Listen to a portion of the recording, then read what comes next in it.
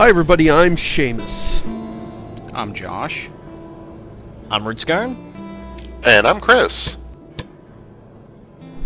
And we're playing Metro 2033, just like you knew we were gonna.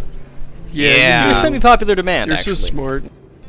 I'm somewhat surprised at the requests for this game. Uh, I feel like the original kind of flew under the radar most people. Yeah, I didn't hear about this game until it, it kind of come and gone. And then in the comments, when we kind of asked, you know, what do people want to hear? It came down to like the, the front runners were like this and Max Payne 3. And Max Payne 3 basically got had nobody speak up for it. I think like one person mentioned it, and everybody else was like, "You should do Metro. What I- is You it? I should do was- that Metro game." What is it with these developers from ex-Soviet countries producing post-apocalyptic video games with immersive elements set where you fight mutants and their cult following in the rest of the world? Yeah. So here's the first uh, sort of dilemma we have here: is what difficulty do I play on? And you know, this dilemma would really be informed more if they actually fucking labeled these in-game. Yeah. Um. See, this game is a little weird with its difficulty settings. I call it Stalker-ish because uh, it's it's a bit like Stalker's difficulty settings.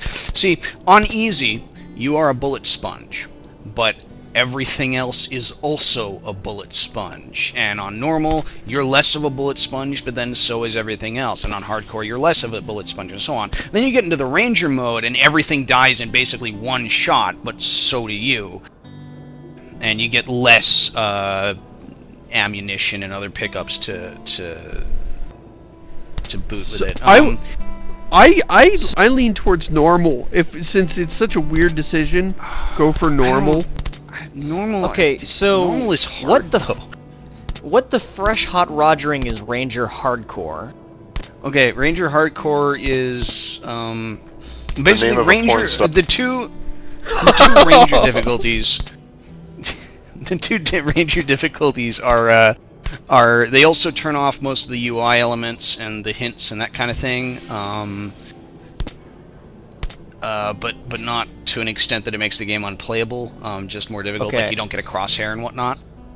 So inverse health relationship UI elements remove some hints, not all.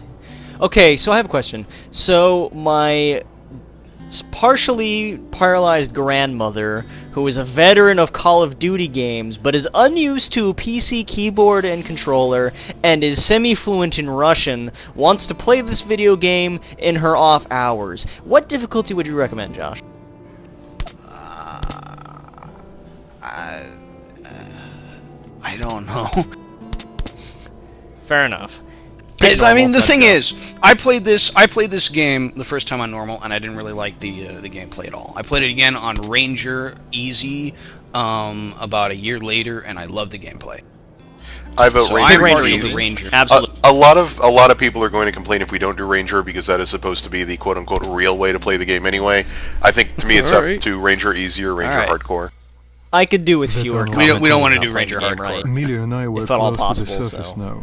I, I just want the we'd fewest climb number up of into the deaths. howling wind to fight our way through whatever nightmares Okay, so now we're already hitting the first jarring thing for me. This game has an option to actually have all the But dialogue in have the Russian, and it's like a, I, th- I believe it's a Russian game. It might actually through? be from another ex-Soviet country. I can't Uh, This is a Russian game. Okay. Um, so I thought that was a nice immersion helper because you know everybody's speaking the same language that you'd expect them to speak instead of just English with a heavy Russian accent. But the thing is, it only gives you subtitles for essential dialogue. So I'd be wandering through town and a bunch of people would be like waving to me and speaking to me in a language I have no way of comprehending. and the only possible way I could interpret it is that Artyom just is miles away at all times. Unless something is literally shooting at him. So this game begins. What's what's the fancy literary media term? res. In media res. Okay. Th- How many games actually start here? Like this is leading up to the end of the game. Like how many games do this? Grand Theft Auto just did. Um, there are others. It's a little amusing with this being the end of the game, that he's like, Artyom, check these crates for ammo and med packs. Artyom, sometimes the doors break down. Art- and you're like, I fucking It is. know. It is. Jesus This is- Christ, This is the I've done this a lot, One though, problem okay? I had in in Ranger uh, mode is look at all. This is like what twelve clips of of 5.45 millimeter ammunition. Check out how many I get here. I have one right now. Three, five, seven, nine, eleven, 13, 15, and 25 After like, 25 somebody total. plays, after somebody plays like Call of Duty and just is always ejecting their mags, this is what's left over. Yeah. Didn't Spec Ops open in media res with the? Uh, well, I guess it opened Yeah. with the the Colonel scene, but then after that, you got the helicopter scene. Seems like nobody's Actually, I think it might have opened with a helicopter. I forget. Before we hit the surface, put your gas mask on. Oh yeah, yeah, that's It's- right. The helicopter scene. Okay, so uh, there's a little game you can play with this game, which is Is this voice actor actually Russian? This is the Korolev performance. This is it's kind of an easiest easy ever. game. Yet, You know, you'd think, but I was when I played Dragon Age, I thought I, about Leliana. Wow, this lady has the worst fucking French accent I've ever heard, and she's actually Yeah. French. So- Yes, I heard that too. And that after that point, I keep my mouth shut as far as deciding that goes. I'm not. I don't have any bullets loaded. Artyom, reload the pressing R. Yeah, I actually know that. I was just um, sorry, miles away.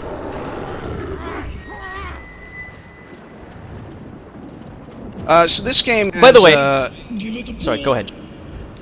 uh, it has a, an interesting mechanic where um, uh, basically humanity fucked up, blew up the world. You know, great, wonderful. You know, again. Um, and the entire service, as you can kind of see here, is just totally fucked. Um, you can't go out here without uh, a gas mask, without like special protection on. Um, and the gas mask turns out to be a very significant resource in the game because about a third of the levels in the game are done in areas where you need your gas mask. And uh, you've got to get. you needed it. It makes me wish they had a gas mask mechanic in Fallout 3. Yeah. Yeah. Like it's a good mechanic. Yeah, you'll see that this game does a lot of interesting things with its survival mechanics. Uh, that, that's something we'll be talking about, how that reinforces the gameplay. The, how Yeah. the gameplay reinforces the story in that respect. You really do feel like you're sort of scrabbling and scavenging and fighting for your life at all times. Not just from enemies, but from the environment. It, it kind of reminds me in a certain sense of uh, The Last of Us. The the idea that it uses mechanics to sort of reinforce the texture of the world. The yeah. texture, that's a good Um, way of putting it. and it, Not it also necessarily the plot, but looks the texture. really freaking nice. Like we're not Yeah, even no, playing on the it's- highest graphics settings, and this game looks very Yeah. competitive for Although- any game released this year. Although we have kind of seen our share of this motif. I mean, really, the post-apocalyptic wasteland. I mean, the world has seen enough of this. Although they, they do a good job on it, I can't fault them on execution. Glad to see you, Colonel. But I do have apocalypse fatigue to a certain Did extent. you hear that? That's true. Listen, Can I so can I just say what I was gonna say a few minutes ago, which is I apologize in advance to anyone who actually has who act, is actually Russian or has a similar accent because I'm going to be butchering Russian accents about as Give as us, as give us Steve a Blum sample. does. Give us, give us another sample. Hey, Oh, what? What? How come he gets the turret? I wanted the turret. This is supposed to be my mounted machine gun sequence. What is wrong with these? people? Yes, I love I And the protagonist. That's I. You are such. You are a perfect fluent speaker of Russian. That is amazing.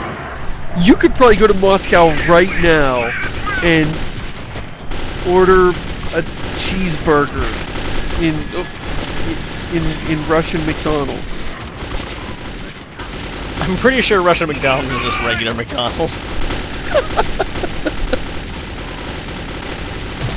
Josh, you think got what one makes bullet the- in your gun.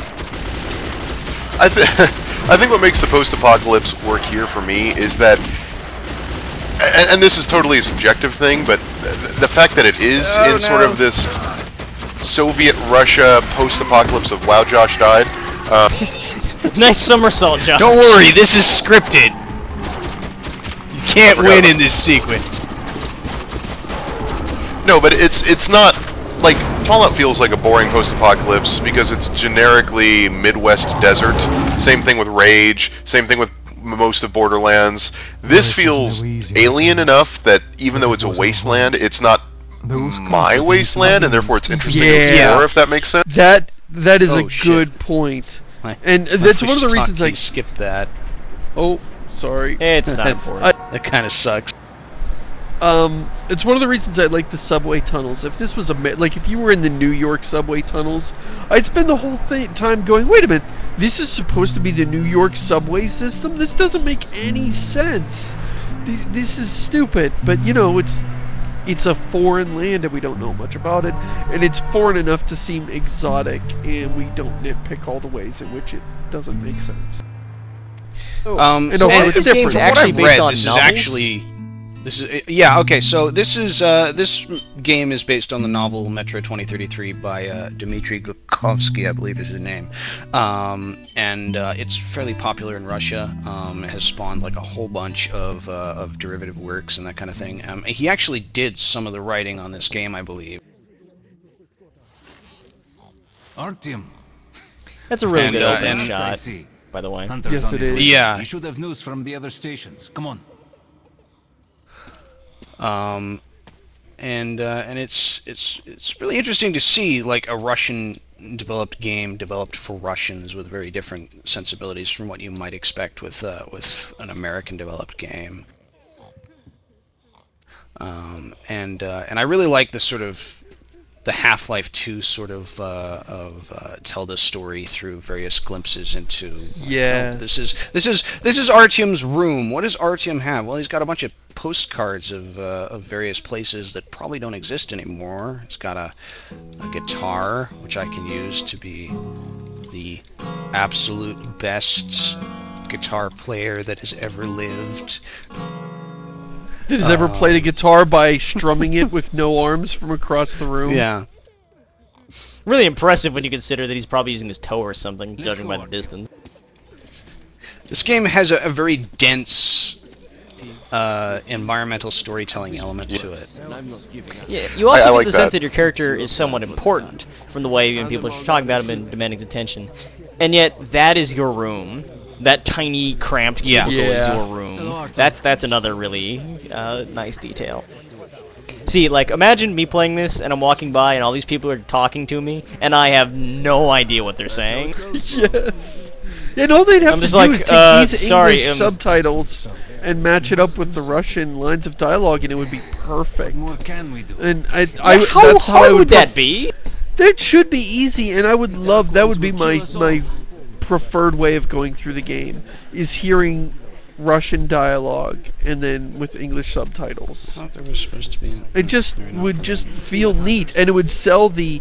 It would make this feel that much more exotic and different. Another patrol. Well, uh, yeah, some- uh, obviously as somebody playing it in America. Right. I don't think it would wow the the folks back in Moscow. Many want to leave the station. So uh, we just got right there. You saw that little flash. No, for for people in Russia to make the game feel more exotic, they turn on the English voice acting and the Russian subtitles.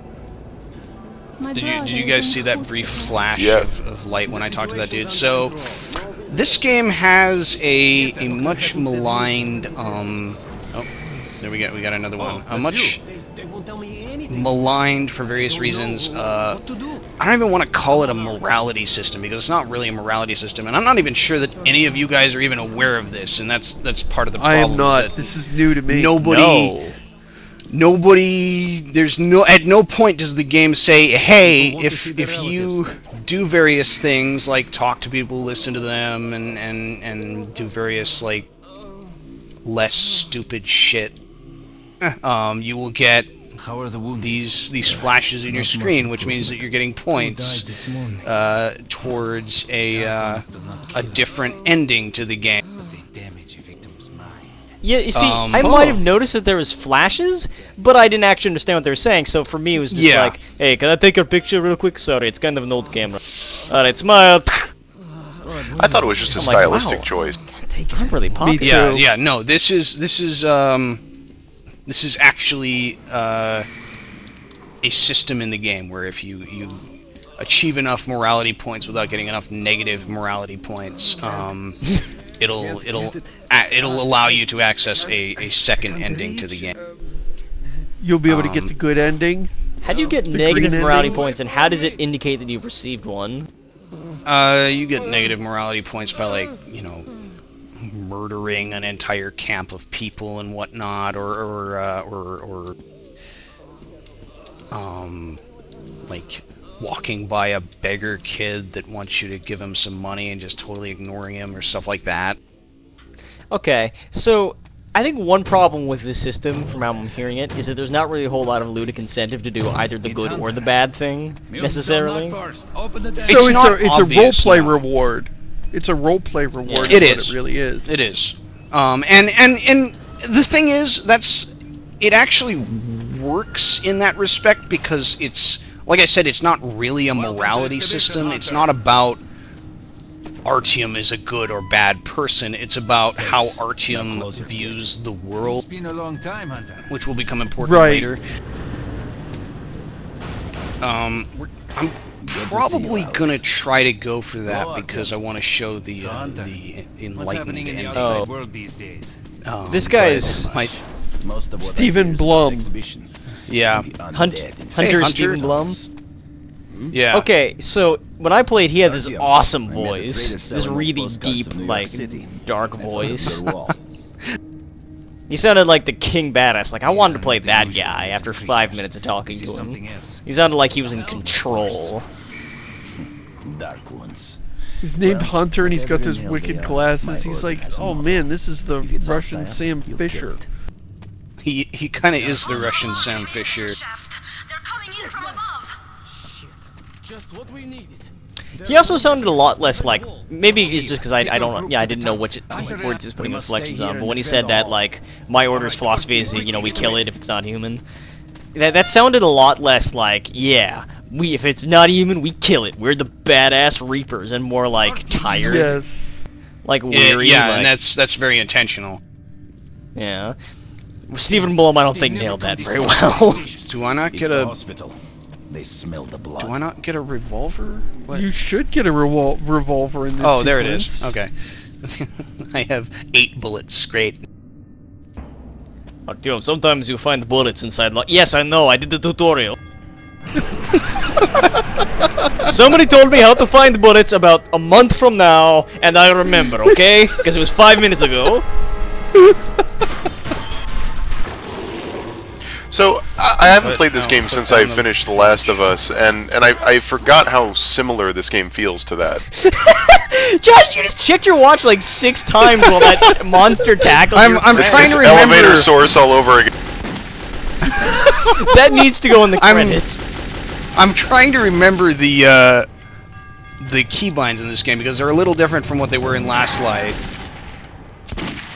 Oh, that guy's already dead. Well, I don't think there's actually any reason to fire in the sequence. No, no, There- I, I did this a little while really. ago, and I couldn't, I couldn't manage to kill anything because every time I lined something up, they shot it with their automatic weapons, and I felt like a terrible third wheel. I felt ashamed, and I wanted to put my revolver away and sit in the corner. they have fucking AKs and we have a homemade revolver thing and a knife. Hey, any day in Artyom which you don't need to use your AK is a good day. Artyom, you can use uh this. Yeah, you're great. Just go over there and stay out of our line of fire. And don't shoot yourself with it. that actually worked rather well. So I also have recently been playing Aliens: Colonial Marines, and I think this game suffers the opposite Oh, problem poor that. Aliens: Colonial He's Marines the dead does. I shot this one. Um. Colonial Marines sucks when you're fighting uh, humans, and it's awesome when you're fighting the well, not awesome. It's still terrible, but it, it is less terrible when you're fighting aliens. Th- this game is really only at its best when you're fighting the really smart humans. It's sort of like Half-Life in that respect. The human AI is so much more better and interesting to fight, and the monsters are just monsters. Oh yeah, very much. That's, that's part of the reason why I like fighting, uh, playing on on Ranger the fittest? difficulty levels, is because the We lost. the monsters are not any hardier than any of the humans. They still go down in like two or three to the hits. I'll hang on to whatever life I got with teeth and claws. I, I appreciate that it's sort of we, we're, we're we haven't really gotten the full backstory yet. But the idea is that there are these mutants, like these sewer mutant dog mo- monkey things that you just shoot scores of. And then there's this other thing that just breaks people's minds, and you have no idea how it does it. And I appreciate that it immediately sets up that like your your big horrible antagonist is something you can't, you don't know how to fight directly. Yeah. That really, s- Yeah. under, that really that you sells can't the understand. hopelessness. That's totally alien. Yeah. really uh, uh, really sells the hopelessness establishing that early on like by having you kill a bunch of these monsters and then have your what he seems to be like the guy in charge just go yeah guess what this doesn't matter Yeah. these Yeah, Shit. I did like that. Uh, uh, so many games would be like, "Yes, we killed these ones, but there's more, and they're bigger, and their teeth are pointier." And you're like, "Yeah, well, I'm sure by then I'll have better guns." I must go And you just don't feel the tension that the characters feel because it's a video game, and you know how they work. So I really get to like that it did, station and that it did man named Miller. Established that the real threat is against the mind. So you stop thinking of Show this to Miller things in terms knows I sent of your guns and your I trust bullets. everything to you, Artyom. Really Don't let me down. yeah this is definitely sounded more If we are badass to and Russian. survive, hey Artyom, uh, some guys got killed of ours so I'm going to go kill like 60 of their guys. Here's my dog tags. If I don't come back nail them to a wall somewhere. Tell the kids how awesome I was. They want to grow up to be me okay see you later